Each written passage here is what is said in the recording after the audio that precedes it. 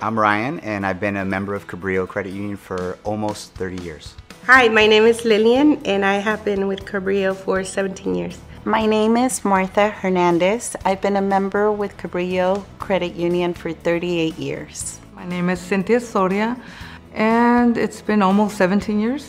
My name is Joe Page. Uh, my dad actually set me up uh, with my membership. Uh, at that time, it was a federal credit union. He was employed by the Border Patrol, and he signed me up at the old, old, old office in Chula Vista at the Border Patrol station. I've been very happy with everything with Cabrillo for the last 50 years. Cabrillo Credit Union means to me, I mean, I think it's the closest thing to family you can get from a banking institution. Cabrillo has become part of my family, my everyday life. Over the last 30 years, uh, my wife and I both have had multiple car loans, and every experience with our car loans has always been the lowest rate, uh, ease of application, ease of approval, and it's saved us a lot of money, uh, better than we could have ever gotten from any other bank or any other source or dealership or anything like that. Rio's always uh, been a part of every major purchase I've done and even with difficult situations where there might be a limit on this loan or that type of car or I even purchased my RV through Cabrillo. The staff helping me out is very creative and has helped me come up with solutions to uh, whatever issues that come about. I think I've stayed with Cabrillo throughout so many years because of the way that they have helped me through different financial situations that I have gone through. When I visit the branch, everybody is very friendly. Uh, they go above and beyond trying to uh, help me with whatever I need to do on my account.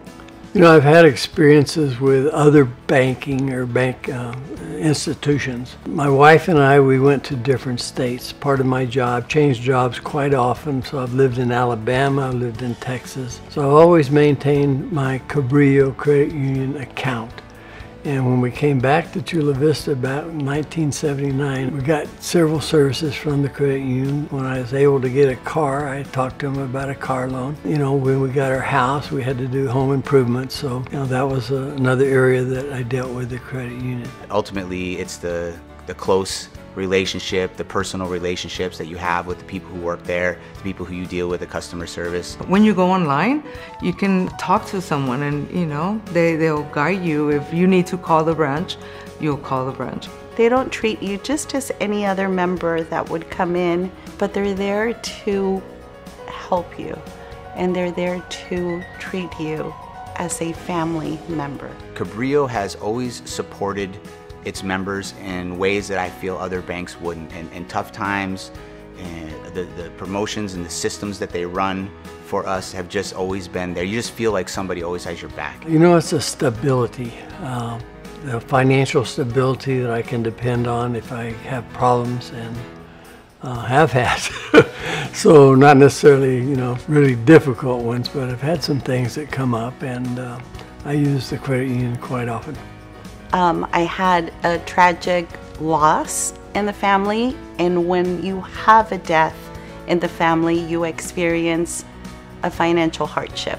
And Cabrillo was there to make everything a lot easier and to let you know that things will get better and life will be better. It's different from the big banking system. You don't feel like a number, you feel like a, a member of, of a group.